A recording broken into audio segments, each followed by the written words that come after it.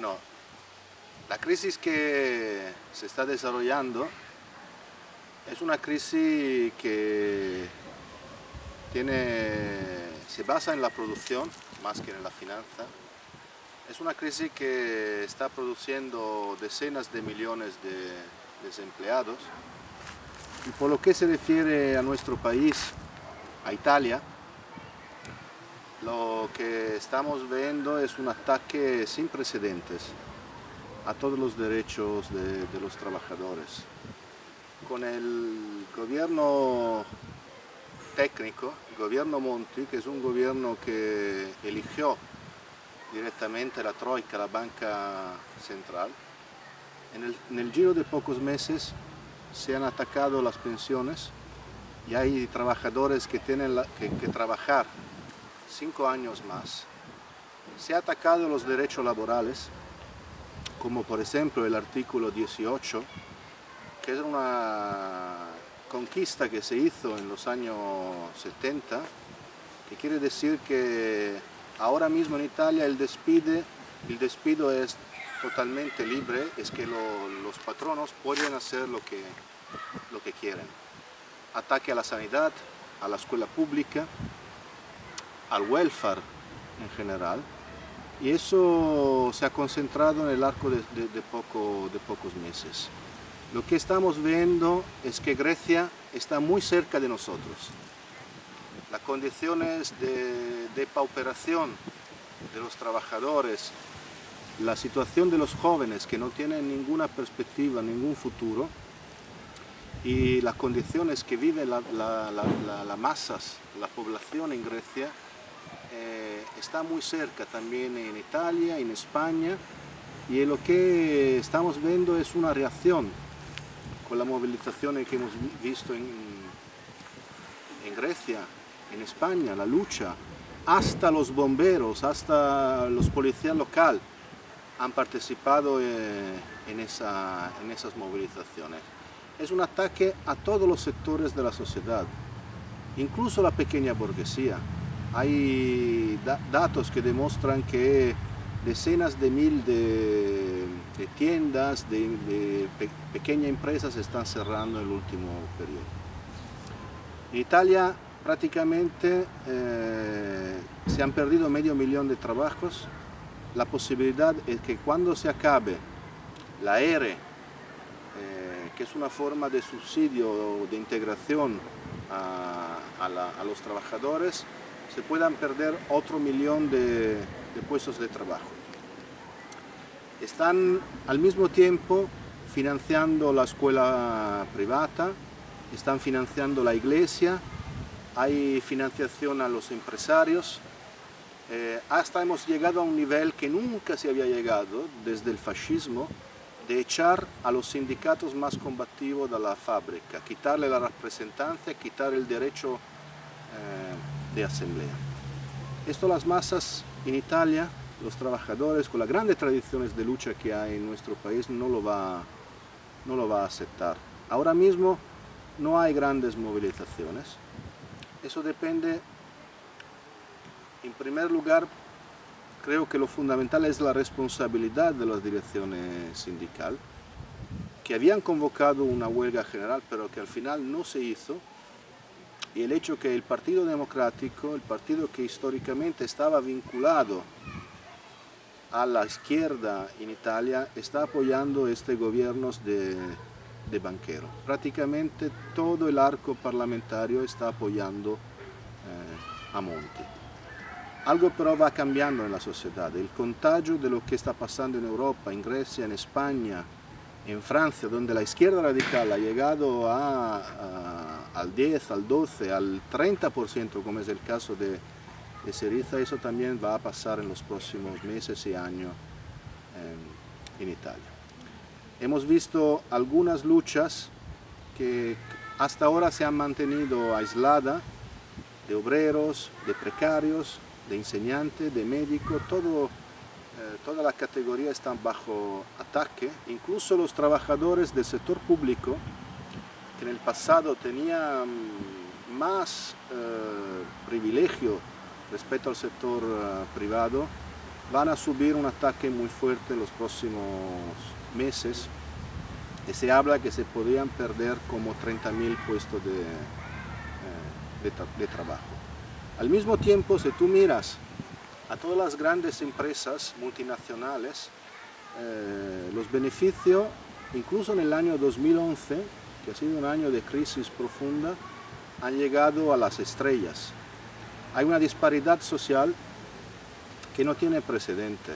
Prácticamente en 20 años, 8 puntos del Producto Interior Bruto han pasado dal, dal, trabajo dependiente, dallo, jubilado, a la, renta y a, los patronos. Es una cifra impresionante. Eh, se habla mucho de la deuda. Tenemos que ponernos de rodillas detrás del dios spread, del dios de, la, eh, de lo, que son los vínculos financieros eh, a, nivel, a nivel europeo. nos han dicho que con todos esos recortes, con todos esos ataques, se iba a, solucionar el problema de la, de la deuda italiana y de, la, de, los altos niveles de las tasas de intereses. La realidad es que después de tres maniobras financieras por un total de 100 mil eh, millones de euros de ataque, eh, ahora mismo el, spread entre el bono tedesco y los bonos italianos ha llegado al máximo, al máximo nivel. Luego, el otro día el, Parlamento aprobó el Fiscal Compact. Eso para, Italia es un masacre, porque el Fiscal Compact prevé que en 20 años se tiene que eh, reducir a la mitad la, deuda del Estado, que en Italia ahora mismo es de, es de 2 billones de euros. Eso quiere decir reducir la deuda de un billón de euros en 20 años. Una maniobra de 50 mil millones cada año a, la cual tienes que añadir los 80 millones, mil millones de euros que ya se paga de intereses sobre eh, la deuda. Eso quiere decir que no, hay, no, no habrá ningún welfare, que no habrá eh, ningún derecho eh, que se seguirá golpeando los derechos de los trabajadores, de los jóvenes en ese país. Eso no puede seguir, eso tiene que, que acabar. Llegará un momento que en Italia habrá una explosión social, un nuevo otoño caliente. Eso fue, pasó hace 40 años, cuando hubo unas movilizaciones pre-revolucionarias en este país cuando los trabajadores intentaron poner los destinos, su destino en, sus propias manos. Eso es lo que pasará en la, en la próxima época. Estamos entrando en una época revolucionaria. Y sobre eso quiero añadir una cosa. Antes, cuando los comunistas, los marxistas hablaban contra el capitalismo, por la nacionalización de los bancos, de las grandes empresas, de los grupos estratégicos, eh, la gente no entendía, le parecía algo muy, muy lejos. Ahora la mayoría de la gente está en contra del capitalismo, entiende que ese sistema no le puede garantizar ningún, ningún futuro.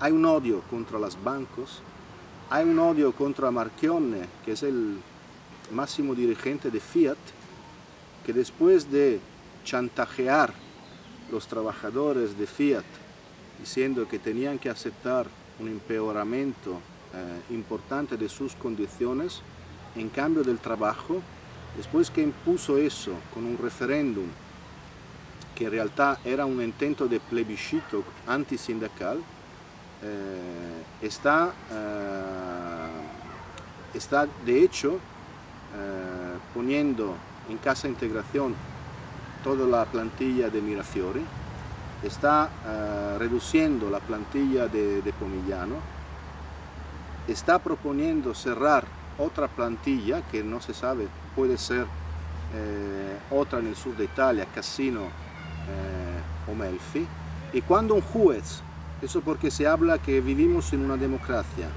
le impone readmitir a 145 trabajadores de la Fiat de Pomigliano que han sido discriminados y eso lo ha decidido un juez de la República, eh, dice que eso es folclore y que él no va a respetar eh, esta, esta decisión, este juicio y demuestra simplemente que los patrones quieren hacer eh, absolutamente lo que quieren y que no respetan ninguna regla eh, democrática. Yo creo que eh, el sentimiento anticapitalista se está desarrollando en este, eh, en este país y por primera vez en Europa tenemos la condición para la convocación de una, una huelga general europea. La burocracia sindical eso no lo quiere, sí, es verdad, pero también en España Después de la huelga general del septiembre del 2010, eh, los dirigentes sindicales pactaron, hicieron un acuerdo y prácticamente eh, claudicaron sobre todo, cedieron sobre todo. Eh, pero la situación entre los trabajadores de descontento, de, rabia, de frustración se iba acumulando. al final los mismos dirigentes de UGT y comisiones obreras eh, fueron obligados a, convocar la huelga general del 29 de marzo, que ha sido un éxito, probablemente la más grande desde la dictadura. Eso lo hemos visto también en, Grecia, donde se llegaron a convocar 18 o 19 huelga eh, eh, general. Eso también va a pasar en Italia y no solo en los países del sur de Europa. Eso también va a contagiar los países del norte de Europa, como hemos visto en Bélgica, en Holanda, eh, prácticamente no hay islas felices. El hecho que la globalización, eh, la finanza sea tan entrelazada a nivel internacional, inevitablemente está provocando consecuencias en todo, en todo el continente. Hemos hablado en el pasado de la revolución árabe, de la revolución en América Latina. Lo que está delante de nosotros es que después de 40 años la revolución va a volver eh, en Europa. Se habla de que somos países desarrollados. La realidad es que la burguesía, el capitalismo, los banqueros tienen el objetivo de eh, llevar nuestras condiciones al nivel que hay en China, en Brasil, donde nuestros hermanos, los proletarios de esos países, están explotados eh, a nivel inaceptable. Por eso que la unidad de los trabajadores, la lucha para transformar las organizaciones sindicales, las organizaciones de la izquierda, es la tarea fundamental que tenemos en esa época. Hay un movimiento que es contra la política, yo creo que eso es una utopía. No podemos dejar la política al lado. Si nosotros no, nos organizamos políticamente, será la política que se ocupará eh, de nosotros. Obviamente, en los últimos años, los jóvenes solo han visto la política socialdemocrática, de los reformistas, que no tiene de hecho ninguna diferencia fundamental con la política de derecha. Tenemos que volver a viejas ideas, a las ideas de Marx, a las ideas del socialismo genuino, democrático, ¿no? lo que hemos visto en los países del este de Europa, en, la URSS. Socialismo que quiere decir eh, economía pública, banca pública, industria pública, bajo el control de los trabajadores. De hecho, no tenemos ninguna necesidad de los padrones, de los especuladores. Podemos organizar una sociedad basada en la necesidad eh, de las personas y no en el, beneficio de una minoría de, eh. Última análisis, eso es nuestro, nuestro programa. Eso es lo que hemos defendido en el Comitato No Deuda eh, en Italia, rechazando la idea que pueda haber una alternativa reformista, que se pueda reformar el capitalismo o que se pueda em, discutir si la deuda es legítima o ilegítima. Nosotros pensamos que es ilegítima, que es una forma que el capitalismo ha utilizado para solucionar sus contradicciones, acumulando más contradicciones. Y ahora estamos pagando la cuenta, pero la cuenta la, paga la, gente pobre, la pagan los trabajadores. Ha llegado el momento que eso se va a cambiar, que vamos a expropiar los grupos, las multinacionales, los 200 o 300 grupos multinacionales que controlan de hecho la economía y organizar una sociedad basada en el colectivismo, en el control de los trabajadores, donde podemos em, em, también solucionar, aparte de, las condiciones, luchar contra la pobreza, también el problema ambiental, el problema eh, de la condición eh, de los derechos cívicos de, las mujeres, eh, luchar contra la barbarie que es lo que nos está proponiendo el sistema, el sistema capitalista.